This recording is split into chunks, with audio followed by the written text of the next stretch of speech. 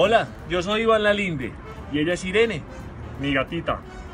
Bueno, Jackson Galaxy, qué bueno que estén en Colombia, de verdad. Muchísimas gracias, creo que hay muchos gatunos en esta tierra que necesitábamos de tu ayuda. Irene es sorda y yo quisiera saber qué hay que tener en cuenta para convivir con una gatita sorda. Ya llevo con ella tres años y pues la verdad no es fácil, pero sí quisiera que nos dijeras algunos tips especiales para convivir con una gata sorda. Por ejemplo, ¿es bueno darle una compañía que tenga otro gatico al lado?